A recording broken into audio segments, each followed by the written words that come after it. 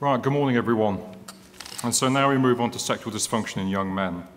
And our first speaker is Roland Rees, who's sort of similar vintage to me. We did fellowships at the Institute of Urology and Andrology around the same time. He started off in Winchester, and now he works in Southampton, where he provides a sort of regional andrology and genitourethral reconstructive service.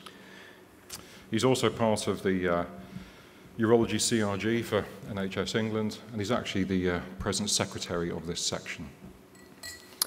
You. Okay, thank you, Paul. I was very chuffed to receive this uh, title to speak on. it's a little bit left of field, a bit off-piste for us urologists to um, delve into the field of psychogenic um, and psychosexual medicine, but nevertheless relevant. So for all of us who run ED clinics, uh, do see these patients, and um, it's important we know. And this talk hopefully will just touch on um, what we do with these patients and what goes on in the in the psychosexual world. So how common is ED in young people? Well, um, it is a this is an important element of our of our practice. Approximately, if you look at the um, studies there of men eh, under the age of 40, approximately 10% of men under the age of 40, if you average those series up, um, have some form of ED, rise, increasing from about 5% in the 20s to 10% in the 30s. And then uh, from the Massachusetts male aging study, we get up to approximately 40% of 40 year olds uh, with some erectile problem or another. Um, here's a study from Italy looking, uh, finding that uh, one in four patients turning up to an ED clinic were under the age of 40, and interestingly, they on average had a, a more severe form of ED, presumably reflecting the fact that um, there are some congenital uh, primary erectile dysfunction patients in there. Um, they found that there was a higher proportion of youngsters who were smokers and also a significantly higher percentage, and 21% in this series, using uh, illicit drugs, cannabis, um, etc. Um, what about the definitions? Well, the traditional definition or traditional thought was that most ED was uh, physically based.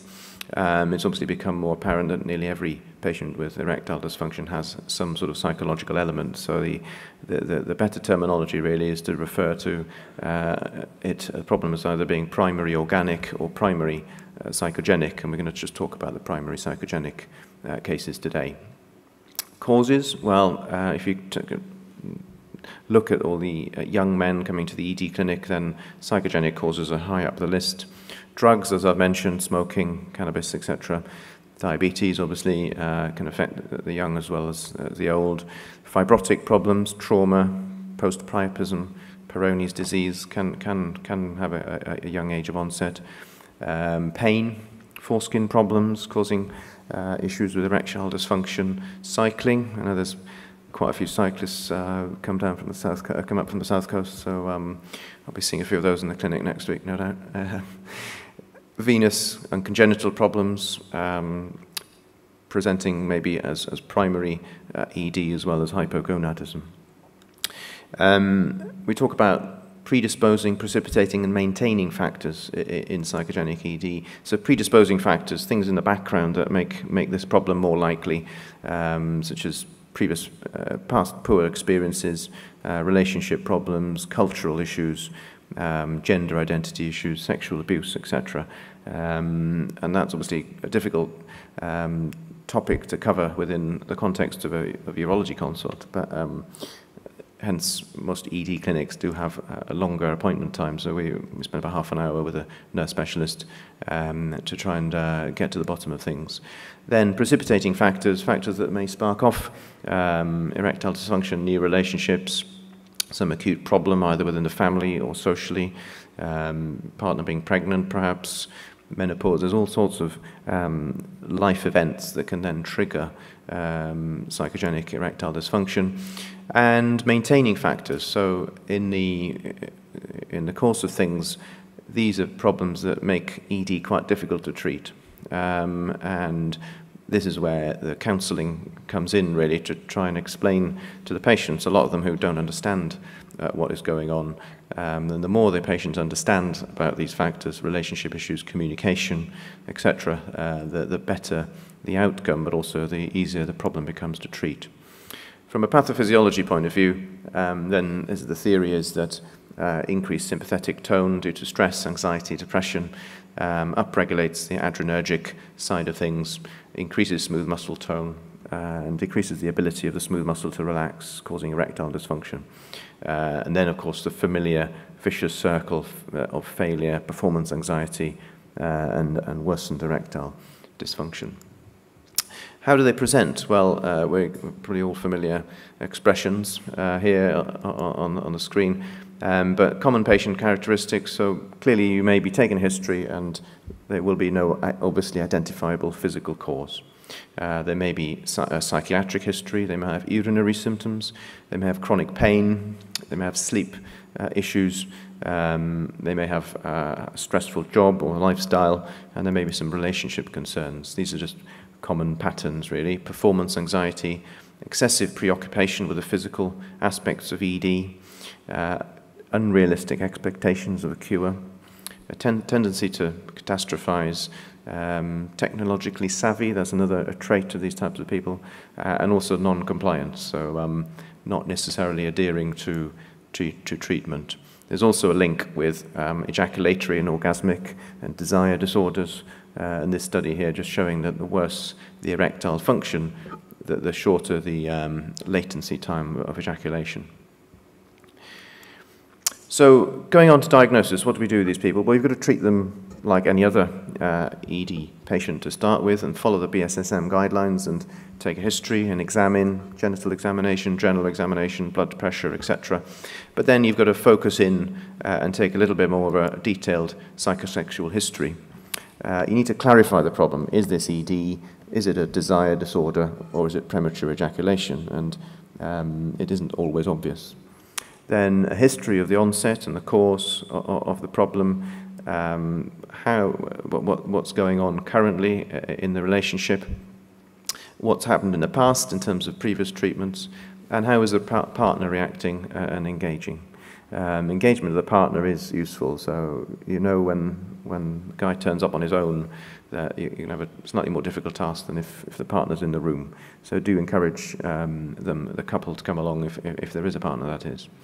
Um, and of course, uh, history of masturbation um, uh, and the sort of situational element. You know, is this a problem only with the partner or with a certain partner, not with another, or uh, with uh, uh on masturbation alone? So um, it, that's a, a, good sign. Um, lifestyle factors, obviously the non-sexual aspects of the relationship, uh, the vocational and lifestyle issues. If somebody's sort of getting four hours sleep and a high, highly stressful job, then that might be a trigger. Um, re reproductive history, infertility, patients going through IVF. Um, people, maybe a guy doesn't want, doesn't actually want to, fall, to, to, to have, have, have, a family, um, those sort of things. So delve into the, the aspects uh, relating to the, to the fertility side of things. Um, and of course, a mental health history. So ask about uh, previous performance anxiety, depression, any, uh, any medications they may be taking, generalized anxiety disorder, etc. So you need to get a, a feel for uh, what is going on. Uh, and for me, I think the key factors here are, you know, is the erectile dysfunction situational? Is it just happening sometimes and not others? What's in the psychological history? Um, what is their relationship history like? What they like in general, their behavior and their sort of mental state, uh, and the denial aspect. And that's quite a big uh, factor in these, in these men. Denial is a big problem. They'll come in, they'll insist that uh, it isn't a psych psychological problem, um, and it's said that you know the more the more emphatic they are in insisting that it's not a psychological problem, then probably the more likely it is to be a psychological problem, uh, because essentially, um, yeah, sort of level-headed patient will will accept what you're telling them and want to just engage and get on with it. But um, if they're insisting, they're refusing to see a counsellor uh, and wanting all the tests, then um, that's often often a, a sign. Uh, they'll often describe feelings uh, not based on the anatomy or the physiology of it, so that they can feel the blood coursing through their veins and uh, and all sorts of things, and and these are just all all comments that these men come out with. Um, you can use questionnaires, but um, I generally just use the IIEF questionnaire. There's a whole lot of other personality and depression scales that, quite frankly, I don't think we, we would use in, in the ED clinic. In terms of investigations, you just want to follow the standard, um, standard uh, guidelines, plasma glucose, lipids, testosterone level, and then other hormones uh, as required. Uh, it is important to check the testosterone because if you list just some of the symptoms of depression and line them up against the signs and symptoms of a low testosterone, they, they can look identical. So um, it is important to, to, to, to determine whether the patient is hypogonadal or not. Further investigations, well, this is where these guys will um, try and push for tests, and they will want all the tests um, in, and most of them believe that they have some sort of vascular, arterial, usually, or venous problem. And a lot of them will have read up about venous leaks and venous leak surgery, uh, and it sounds like a great quick fix, and that's often what they will be after. Um, sometimes the investigations are, of course, justified. Um, certainly, if if there's been a history of primary ED ever since um, adolescence, then they do need a, a vascular workup. Uh, and actually, sometimes it's therapeutic um, just to undergo the tests, and that is part of their uh, learning process, if you like. Highly specialized tests, not used very often, but certainly a test that can determine uh, once and for all whether a problem is psychogenic or not is nocturnal penile tumescence testing. Originally, the, uh, the STAMP test. Um, this is a slightly more expensive version where you have two strain gauges around the tip and the base of the penis um, measuring the rigidity, and we should expect between three and four erections a night. Uh, it's particularly useful for medical, legal, and forensic um, work. Here's a normal NPT trace with, um, as you can see, three or four uh, decent erections during the night, and then contrast that with uh, an abnormal trace, and that, of course, is, is, is organic or physical erectile dysfunction. Um, now, in terms of usage of this test is not a widely available test. It's not often necessary. It doesn't often change actually what you do or the, or the management, but it can be quite effective in terms of um, showing a patient the trace. Uh, if, you, if somebody's insistent that they don't get any erections at all and you show them that trace, then um, that's often, again, a uh, forward step in terms of accepting uh, that actually it may well be a, a psychological issue. In terms of management, then I tend to try and get them to do some exercise if they're not doing exercise already. This is just my personal uh, sort of practice. Um, exercise has been shown to have a positive effect on mood and self-esteem, circulation, weight, and erectile uh, dysfunction. There, there it is in a sort of organic sense, uh, the link between physical activity and erectile dysfunction. So that's a good thing to get them start doing. Um, in terms of the traditional approach, then it's been treating the organic. So most of us seeing these patients would offer them um, Viagra or the equivalent uh, and hope that everything will then fall, fall into place once they start getting better erections, their confidence improves, etc. Now that technique might work um, in the sort of milder end of the spectrum. Um, and bearing in mind that in some of the studies for psychogenic ED, up to 40% of men get a, good response with the placebo uh, uh, arms. So uh, what else? Well, the definitive, the best way to deal with these patients, I think, is through a combination approach. So tackle it on all fronts simultaneously. Um, discuss counselling with them uh, and refer them on, but also um, try and try and treat uh, with, with sort of by uh, with the medication as well. Of course, it may require escalation, so uh, in severe cases, you may need to escalate to intracavernosal injections um, or other MUs, even penile implants in a, in a, in a tiny minority uh, of severe cases. But essentially, um, they need um, treatment on all fronts. And what happens? Well, um, psychosexual therapy, the mainstay is behavioral therapy, and this is something that you can do. Um, so the so-called uh, sensate focus, which is split up into three um, areas, non-genital, developing intimacy, but not concentrating on erections or penetration or anything. Then moving on to genital sensate focus, which um, involves stimulation but no penetration.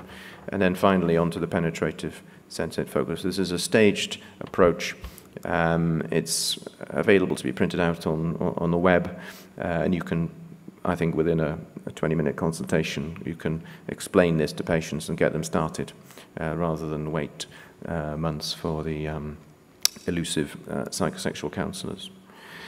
So um, Sensate Focus is, is, the mainstay, as I say, and that can be coupled with educational material um, to try and dispel any myths and um, sort of hang-ups that these, these guys will have. Uh, less commonly used methods in the psychosexual world, cognitive therapy, which is a one-to-one thing, uh, and, and psychoanalysis, psychoanalysis, which has generally gone, gone out of favor, I, I am told. So what about the urologist in the clinic? Well, I think the most important thing for you guys is to um, use the, the, the consultation uh, as a starter, uh, as a sort of counselling session. What they need, you need to explain, and I often just get a piece of paper out and draw a diagram, explain the anatomy, explain the physiology, um, and try and get them to understand, because a lot of them just do not understand what is going on, understand the erectile process, and, and it suddenly, or not suddenly, but gradually dawns on them as to possibly that, that this may well be uh, possibly a, a psychological problem, and they need to start to accept that before that you can move on uh, with treatment. You need their engagement. If they're still refusing to accept that, then you're up against it. Um, this has been formalized in something called a PLISSIT model, um, which is essentially the same as I've just said, which is to, to allow permission, start off, it's a staged approach to um, discussing the topic, permission to discuss it, starting off with limited, short bits of information, maybe start them on PD5 inhibitors, then go on to the more specific things like sensate focus, and ultimately onto intensive therapy, i.e. Uh, psychosexual counseling. Outcomes of psychosexual interventions, difficult to measure because high dropout rates, um, difficult to standardize, heterogeneous bunch of patients and a, and a very wide um, range of, of so-called cure rates. Um, but essentially, uh, there was there is one meta-analysis um, comparing uh, psychosocial intervention um, plus sildenafil, uh, showing on average better outcomes than with medication alone in this group of patients, and it also reduces the dropout rate uh, of treatment. So in summary, um, you need to get patients to understand and accept the diagnosis before you can move forward. You can start the ball rolling within your ED clinic by broaching, but by, by, by sort of explaining things to them, by introducing them to the sensate focus, um, and then you may well need to um, combine that with a referral to the psychosexual counsellors, um, which are variously available. So.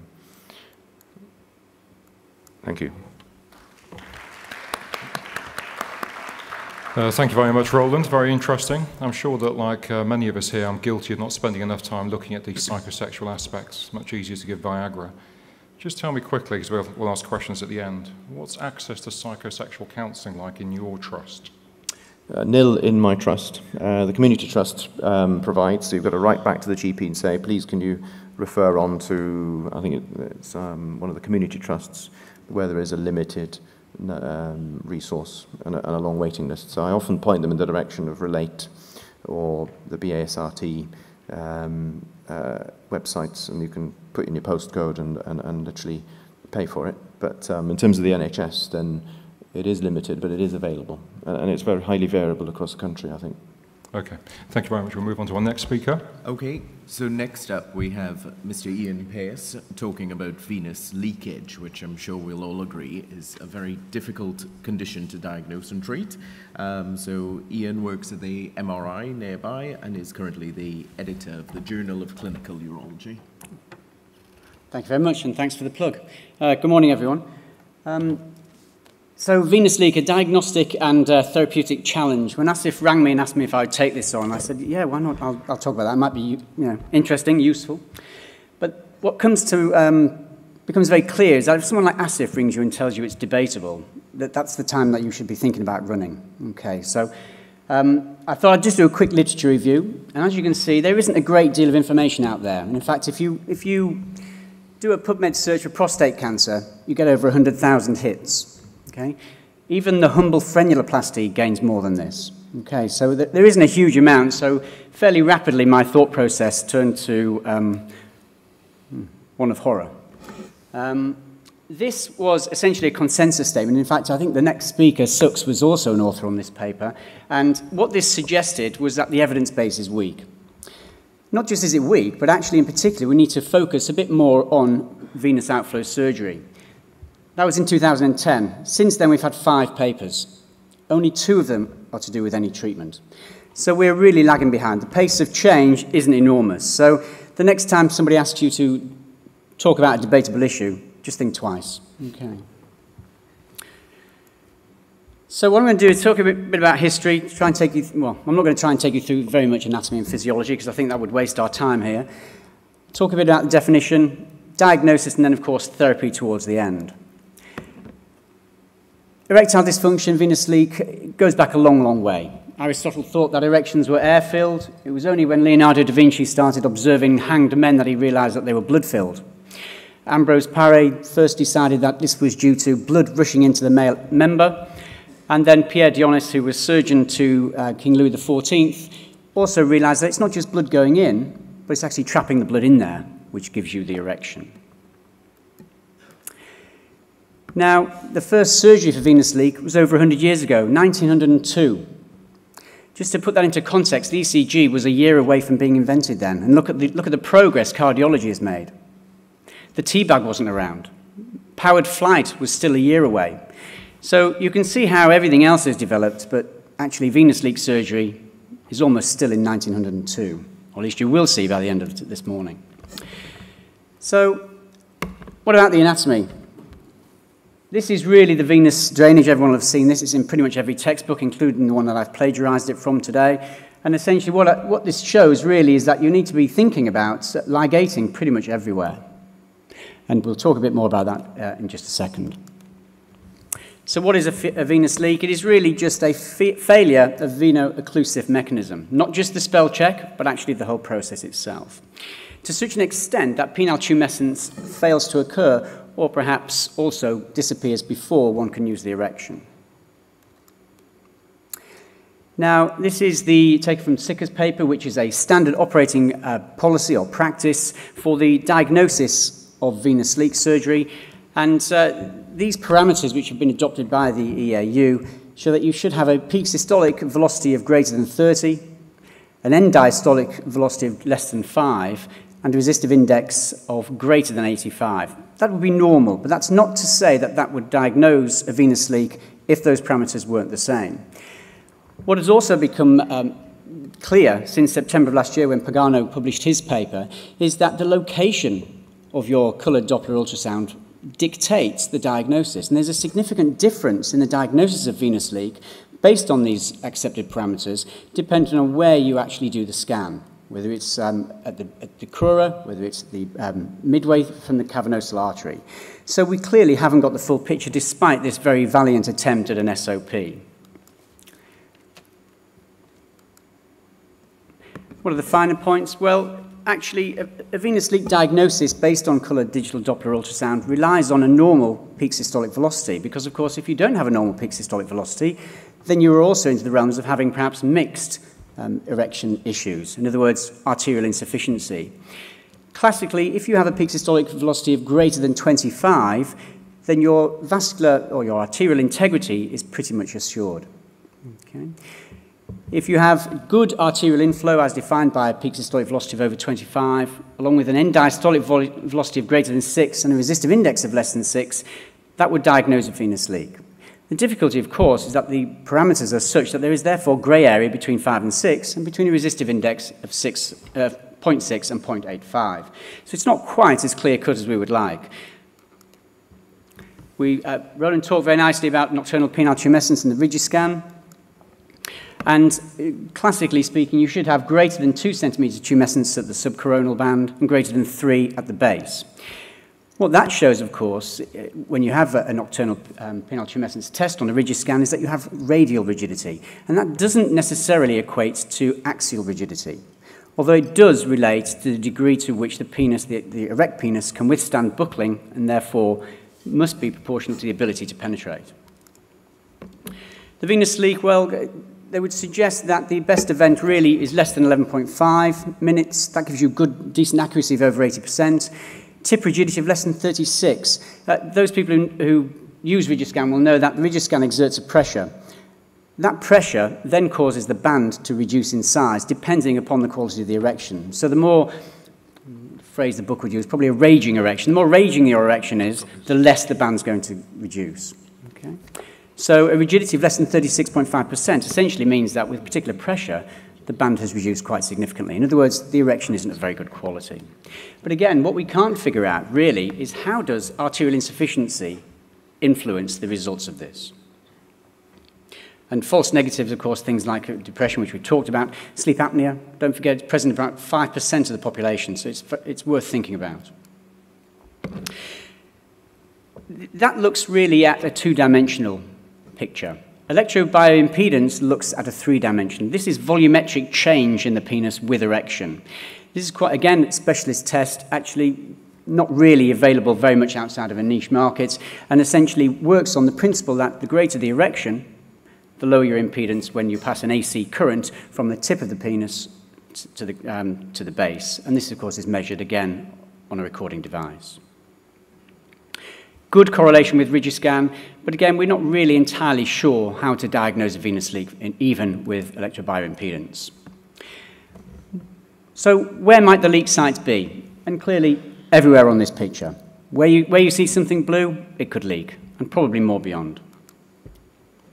So I'm going to talk a bit about treatment, look at the ablation and embolization, and then focus towards the end on uh, surgical treatments, ligation and resection, which are essentially combined into one.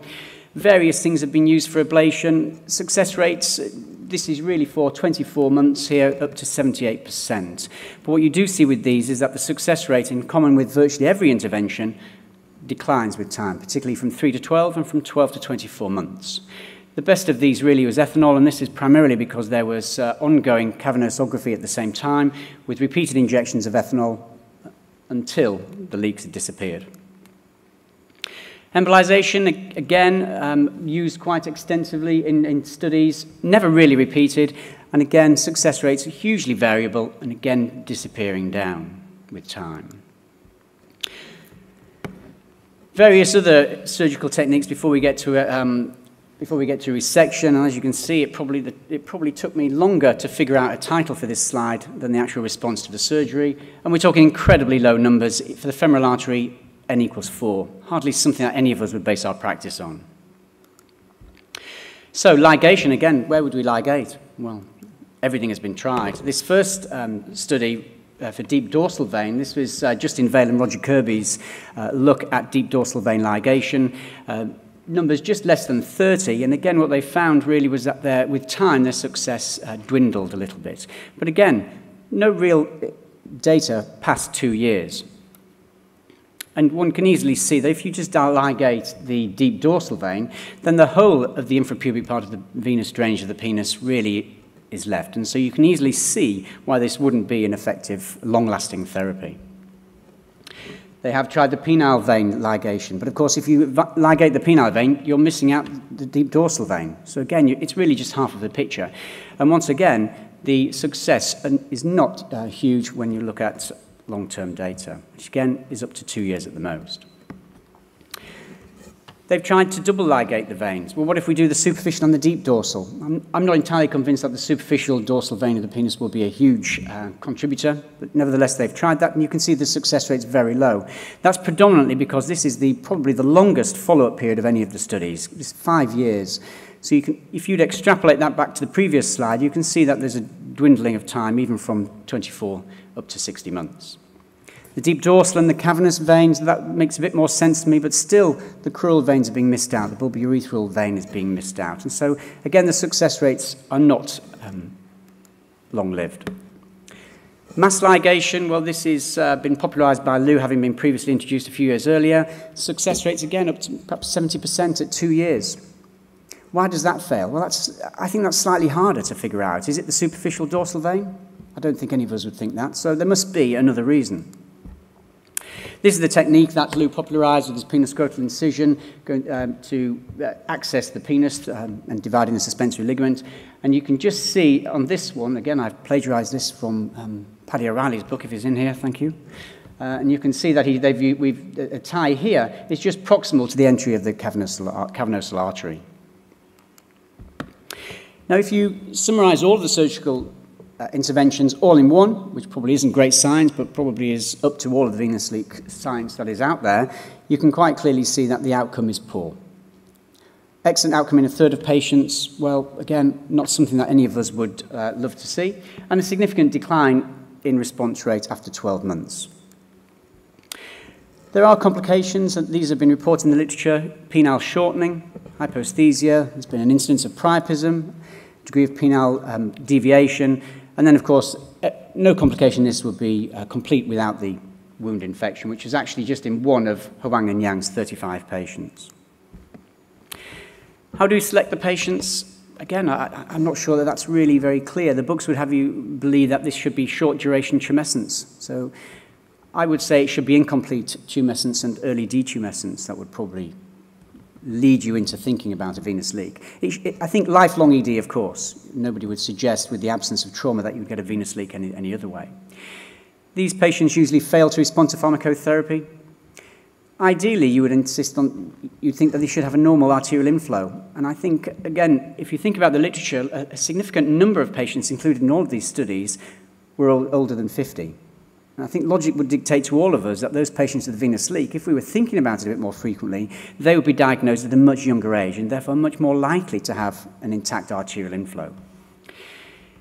The books also suggest that we should look for an isolated leak, but I think actually the evidence would point against that. Most of these are not isolated leaks. There may be some, but in particularly if you look at the ethanol studies, these are, there are multiple leaks involved. And so I think the, the, the thought of an isolated leak, probably, in my view, is probably incorrect. The literature is awash with inadequacies. Uh, the selection criteria varies. The diagnosis varies. They don't all use the same technique. The outcomes vary. Some people are using penetrative intercourse with, some without the aid of PD5 inhibitors. Some are just purely looking on uh, parameters of an end diastolic volume. The follow-up is poor, 12 months, some, some as low as three months, but no real long-term solutions into, or long-term follow-up other than this, that single study with 60 to 70 months. The age of the studies is difficult. Most of these studies are over 20 years old, and they, they suffer from a complete lack of duplication. It's almost as if we publish on one thing and then we move to the next. So there is a huge um, area that we need to focus on in order to really get to the crux of the venous leak, both diagnosis and therapy. Another note of caution here is that a certain number of men, a certain percentage of men with a normal erectile function will demonstrate a venous leak on cavernosography. There must therefore be other factors. What would cause a venous leak to be symptomatic in some but not in others? So, despite the fact that this was debatable, this subject, I think it unfortunately throws up a few more answers, a few more questions rather, than we have answers to. What is the cause of venous leak? Are there multiple sites? Are there multiple causes? If we correct those, those leaks that we can see, are there occult leaks? What, what do we do with arterial uh, insufficiency if that is coexistent? Do people form collaterals? Where do we do the colour Doppler ultrasound? And, and in fact, probably the last one here is the one we do have the answer to. Do we underdiagnose? Well, probably we do. It's like all those things, a bit like, it's like urethral diverticulum. Unless we think of those things, we don't make the diagnosis. Where do we start? Well, this is the uh, Austrian economist uh, who was very fond of saying that if you can't measure something, you can't improve it. The, true, the same is true for venous leak. If we can't diagnose and figure out a way of uh, measuring how bad it is, how can we possibly improve it? So we probably need to go back to the way we diagnose and have something effective. So the, the final uh, thought really is, uh, is venous leak a disorder spectrum? Does it have multifaceted influencing factors, each of which playing a role? And are we then coming back to this issue that is so often quoted in patient safety factors, and that is, is it the Swiss cheese model? Is this the anthological Swiss cheese? Do we need arterial insufficiency? Does that play a role? Probably does. What about the tunica, the inadequacy of the tunical uh, mechanism, the emissary vein dysfunction? All of these are probably existent. Do we need all of these to pass a critical level at which point we end up with symptomatic presentation? I don't know the answer to that. The answer probably is yes, but how do we unravel all of, the, uh, all of this to block up the holes in the cheese? So uh, just before I go then, I, I think it is debatable. There's a very poor evidence base. There has been an attempt at guideline, particularly for diagnosis, but actually this, is, this clearly is lacking, as subsequent literature has shown us. And uh, even patient selection is probably up for debate. I think we should aim to have a national, uh, nationwide consensus and even a collection of pooling of data. Uh, standardized data collection, I think, would be something that would uh, hugely improve the situation for us because I think most of us probably see a few of these every year. None of us, I, I suspect, outside or uh, perhaps of London and, and other big cities have a great experience of this. So I'll just leave you with the, um, a few words of wisdom from the 45th President of the United States in the victory speech to the, to the loser. Thank you very much. Thank you very much for thank you very much for that um, very comprehensive talk on venous leakage. Um, shall we move on to the next? Okay, our next speaker is Suks Minhas, who needs no introduction. However, in the interest of protocol, I will say that he's been a leading in andrology since he was appointed 13 years ago at the Institute of Urology. He's published widely, particularly in uh, penile cancer, and he's actually the past chairman of this section back in 2010. I give you Mr. Suks Minhas. Thank you very much, Paul. Uh, it's the kindest word you've ever said about me, actually. Uh, thank you very much. So, I've got a very short period of time to talk to you about living with sickle cell disease, um, impact on sexual health and fertility. So this is, remember, a young group of patients who have quite severe um, effects in terms of the pathophysiological effects of their disease on both their sexual function and their fertility. So I'm going to try and highlight the areas that we're going to cover. So there's a few areas that we're going to cover. One is stuttering priapism, These patients are at increased risk of developing this. Priapism itself, many of you at some stage would have seen a patient with um, priapism who suffers from sickle cell disease, hypogonadism, erectile dysfunction, and subfertility. Again, the literature is scant in the last three areas. So, just in terms of diagnosis, just remember that sickle cell actually is a spectrum of hematological disorders, and as you can see, many of these disorders, in fact, will result in priapism, but to less severity and also less commonly as well. So sickle hemoglobin is an abnormal hemoglobin, and what this is due to is um, there is a there is basically replacement or substitution of glutamic acid by valine uh, at the position of six on the beta globulin chain. So what happens? So if you look normally, in, in oxygenated tissue or in normal um, cells, what you see is the normal disc-shaped cells, they're deformable, and their lifespan is usually about 120 days. In contrast, in terms of sickle cell disease, what you see is sickle cell-shaped cells. They're more rigid, and they live for less longer as well. And this is an important fact, um, which we're going to show you in a second. What about prevalence of instances of sickle cell disease? Well, it's high. And if you look in African Americans, the instance is about 1 in 375. Um, and in fact, 1 in 12 African Americans are carriers for the disorder as well. And these are interestingly various other subgroups and populations, as you can see, that also have sickle cell um, disease. And you'd be surprised, actually, that um, 1 in 58,000 Caucasians um, have sickle cell. This is the age, sorry, the distribution geographically, and not surprisingly, as you can see, parts of America, South America, Africa, uh, the Middle East, Turkey, and also areas of Europe where it does appear to be endemic, particularly and also in South, southern India as well. So it is very common. So, what is the pathophysiology? Why do these patients? Why are these patients ill? Because many of these patients spend a long time in hospital um, and coming backwards and forwards, and you'll see a lot of these patients, particularly if they have priapism or stuttering priapism. Well, the answer is, is that in deoxygenated blood, we already talked about the HBS, um, which is sickle hemoglobin, um, polymerizes um, and the fibers basically polymerize. What happens here is that you essentially get dehydrated and adherent sickle cells. What does that do? Well, you get um, dysregulation of the vasomotor activity of blood vessels, which I'm going to talk about in a second in the context of priapism. And furthermore, what also happens is you get you tend to get um, distal ischemia. Again, this is depicted pictorially here. As you can see, the sickle cells here, ischemia, you get tissue infarction as well, tissue inflammation. This manifests in various organs, including priapism, pulmonary hypertension as well. But what's quite interesting is that you also get hemolysis as well, and hemolysis within blood vessels. And you can imagine that in the penis, and you imagine in a second we're going to talk about nitric oxide. And heme itself acts actually as an um, oxidant. So oxidation results in nitric oxide um, being mopped up by free radicals. So therefore, there's a reduction in terms of nitric oxide chronically in these patients, and as we'll see, may have a pathophysiological role in stuttering priapism and its treatment.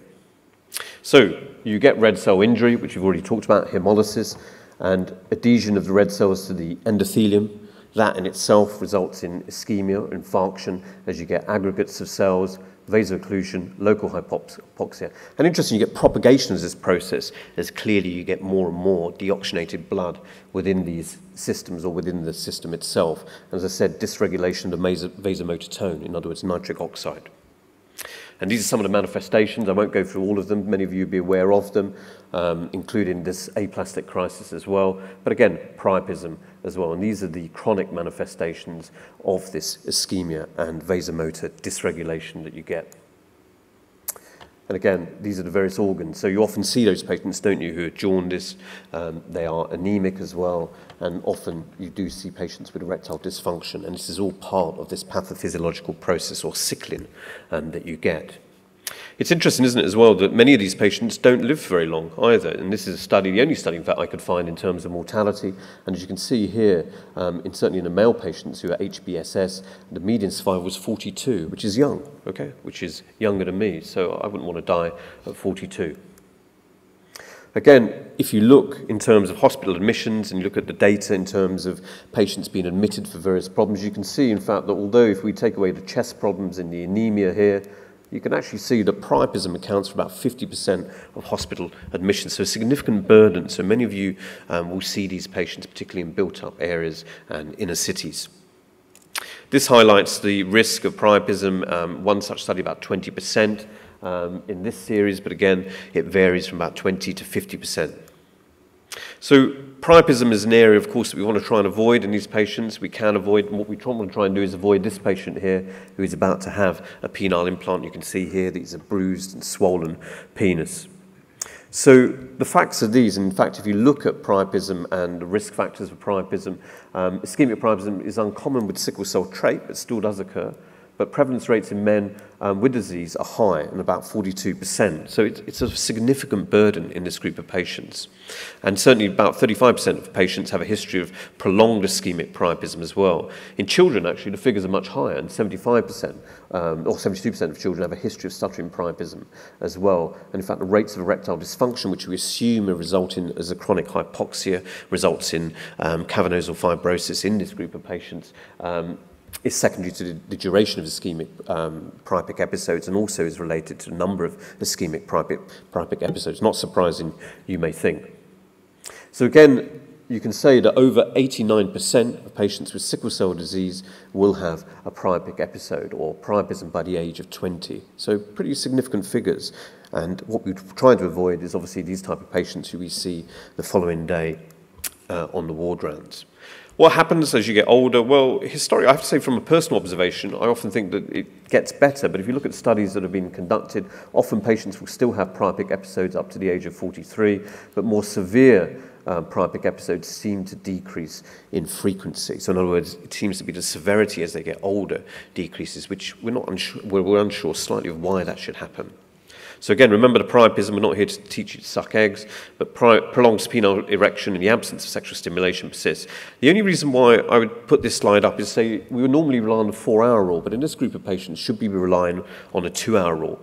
In other words, because often these patients don't respond to conventional treatments, which I'll highlight in one second. Just remind you of the anatomy or the physiology of penile erection. Remember the corpora cavernosa, the sinusoids, lined by endothelium, both eNOS, which is endothelial nitric oxide producing nitric oxide, and non-adrenergic, non-cholinergic nerves.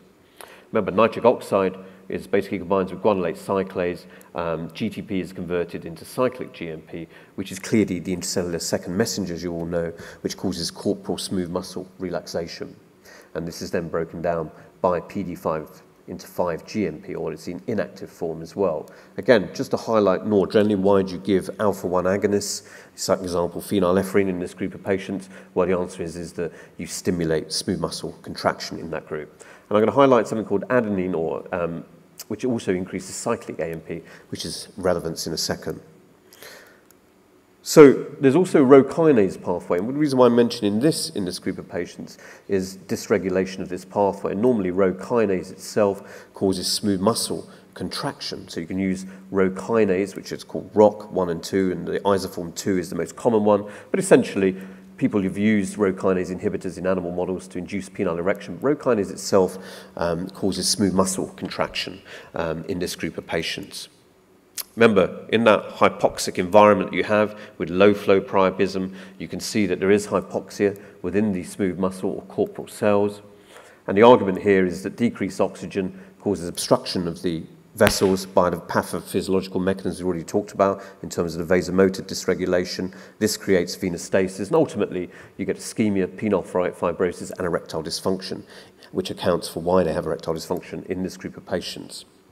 Now, there's an interesting alternative theory, which is why I've put up all those slides. And the answer is, is this, that we already talked about the normal physiological mechanism of nitric oxide. But in priapism, remember we talked about in the sickle cell patient, they have, in fact, hemolysis, and therefore they have more heme swimming around. Remember I talked about heme taking up nitric oxide. So in fact, what you tend to get in patients with in this group of patients with, for example, stuttering priapism, is you get chronic depletion of nitric oxide. Chronic depletion of nitric oxide in itself results in a decreased expression of PD5 enzymes. Remember, PD5 is that enzyme that breaks down um, the cyclic GMP. So what that means is that although the cyclic GMP levels initially are chronically depleted, if a patient, for example, in an anoxic or hypoxic state, in fact gets stimulated by non-adrenergic, non-cholinergic nerves and releases nitric oxide, then this has an augmentative effect in terms of this physiology. In other words, you get a much in higher increase in cyclic GMP. So the pathway is particularly interesting because it's changed now the concept of treatment of this drug. Now, if I said a few years ago, 10 years ago, if we sort of suddenly said that actually we'll be giving these patients sildenafil, and I'm going to show you why in a second, then you would probably have laughed. So what we see in, in these patients is, in fact, and, and this is in fact in studies that we've seen, is in sickle cell patients, you actually see a decrease in PD5 expression. And also, you also see um, in the sickle cell patients here um, a decrease in Rho kinase expression. Remember, this is the contractile pathway. So in these patients with stuttering priapism and sickle cell disease, you do see a state of change in terms of vasomotor state. And again, one of the areas which we're going to come back to, is in terms of ischemia. So not only is there dysregulation, of course, you get chronic hypoxia resulting in ischemia, which is shown here, but the evidence base in terms of ischemia and how we treat these patients, of course, is very limited. And this is one such paper, and in fact, one of very few only papers that describe the effects of terms of ischemia hypoxia. Again, this rule here in terms of 24 hours is a very controversial area as well. In terms of management, of course, the priapic patient in, in terms of management, those with sickle cell disease should be no different from those with non-sickle cell disease. And interestingly, you still have to go through the stepwise process, including aspiration, irrigation, corporal injection, and distal shunting, and possibly insertion of penile implant. And remember, time is of the essence. The key area, of course, is what happens at 72 hours. Some people argue less even in the priapic patient due to sickle cell disease, should you be putting in a penile implant into that patient? Should you be doing certain types of shunt, which have been described, which again are controversial? But what we do know is that in many ways, some of these treatments now almost have become obsolete. Um, adrenergic agonists, of course, is a primary treatment. So it's interesting, exchange transfusions in this group of patients as well. Do we normally use them? Often we use these types of treatments in terms of reducing the priapic um, severity? The answer is that there's very little, or very no, in fact, very little evidence within the literature um, reporting on the use of exchange transfusion in this cohort of patients. So therefore, what we need to consider is can start considering these different types of pathophysiological mechanisms that I've already outlined um, in terms of the vasomotor dysregulation that you commonly get. And in fact, this is a hematologist perspective in terms of what they feel. And it's quite interesting in this that um, serious questions have arisen regarding the efficacy and mainstays of um, treatment of severe priapism, and particularly in terms of intravenous fluids, alkalization, exchange transfusion, um, which they would now question. interestingly, looking over time, the hematologist's argument would be in this group of patients, in fact, very little has changed over 25 years.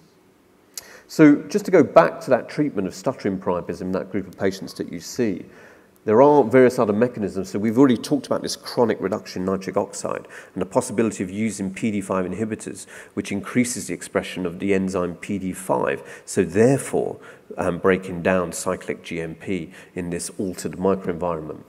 You often also get adenosine, which is produced, which is, which is a smooth muscle relaxant as well. And there are people using adenosine deaminases, which are enzymes that break down um, adenosine, therefore um, reducing smooth muscle relaxation, which is what you want in this priapic episode. And also, we talked about the ROCK pathway as well. So if you look at things in terms of administration of PD5 inhibitors, this is perhaps a novel concept in term which has been introduced over the last two to three years, particularly from the Americans, and therefore the use of this in terms of restoring PD5 levels back to normal and therefore restoring normal vascularity in the penis where nitric oxide is chronically depleted. This is a study, just to show you, this is one of um, studies, caution again, small numbers of patients. There are more studies in literature, but very small numbers of patients within these. But what these show is the use of sildenafil in this group of patients, interestingly, reduced the number of priapic episodes um, considerably by 50% of reduction in um, frequency, um, interestingly. And overall, fourfold fewer priapic-related hospital admissions as well by the use of PD5 inhibitors. And there were certainly no significant differences in outcomes. In those patients who have priapic episodes or stuttering priapism, in other words, recurrent bouts of priapic episodes, what can you do? Well, these are various medications you can use. Many of them are anti-androgens, CPA, stilbestrol, spironolactone, but of course the effects of these drugs, particularly in children or young men, of course, are largely unknown in terms of long-term effects on their fertility. Ketoconazole as well, we've already talked about sildenafil, but perhaps one in the priapism patients that are commonly used with sickle cell disease, etilephrine, uh, which is an oral alpha-1 agonist, in other words, causes smooth muscle contraction. And certainly some studies have reported good efficacy in this group of patients as well. And there are various other drugs as well. Um, pseudoephedrine, again, in my experience, doesn't work particularly well in this group of patients. And certainly etilephrine can be a first-line treatment in terms of preventative measure in that group of patients.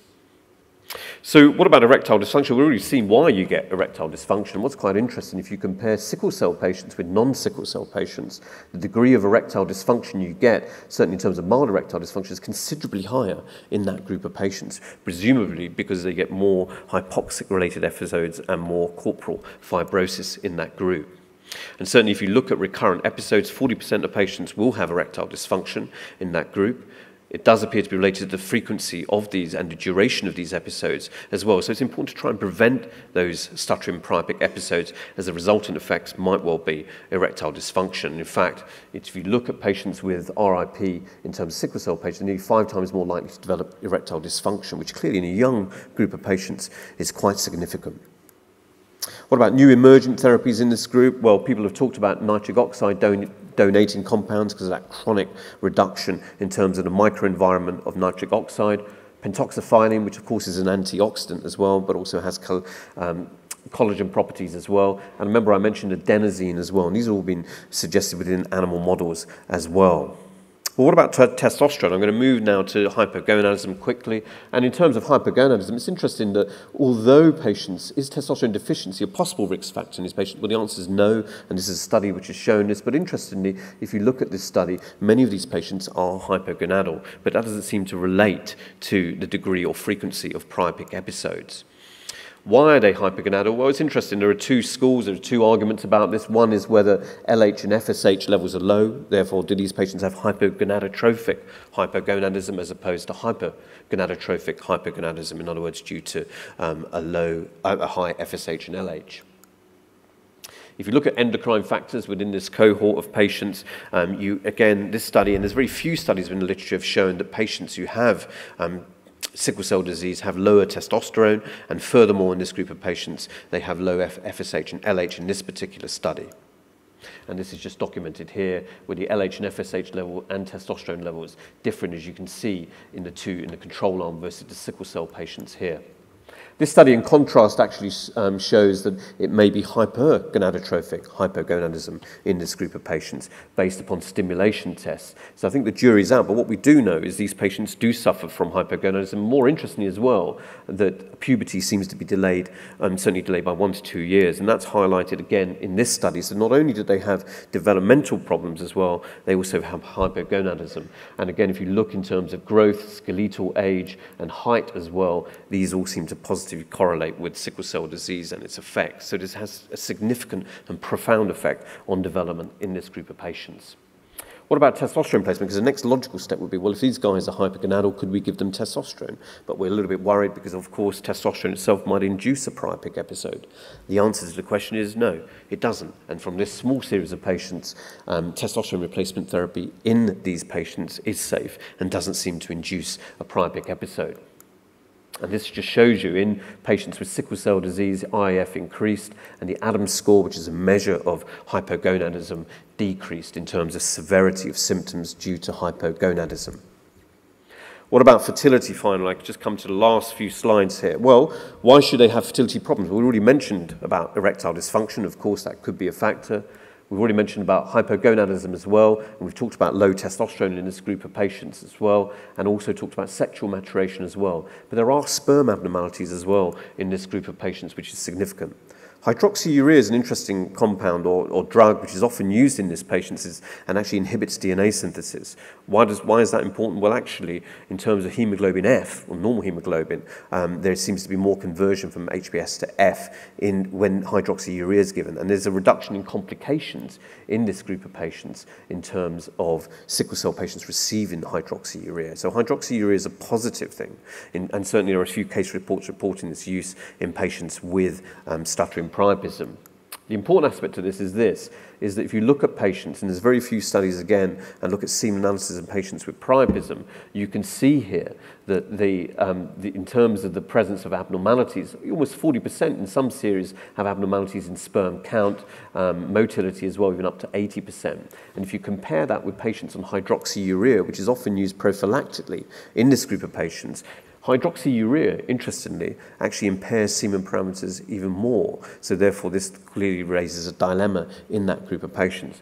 So this paper is quite an important one. It highlights the deficiencies in terms of um, semen parameters in this group of patients, and furthermore, the drug hydroxyurea and its long-term effects in lowering semen parameters in that group of patients. And when patients stop the drug, you can see that things improve. Semen analysis, well, if you look at small studies, and I look back in the literature here, and it's from the 80s and 70s as well, very few studies have been performed, and you can see here that overall about 20% of patients have a reduction in their semen parameters, which clearly has major importance in this group of patients who want to father children, especially in this younger age group. And then finally, in terms of other treatments, and this is about stem cells and hemopoietic stem cells and the use of this now in terms of treatment of patients with priapism. And this, in fact, is a case report describing um, the use of this and stimulation with FSH and LH analogues um, and imp improving pregnancy rates naturally in a patient who azoospermic.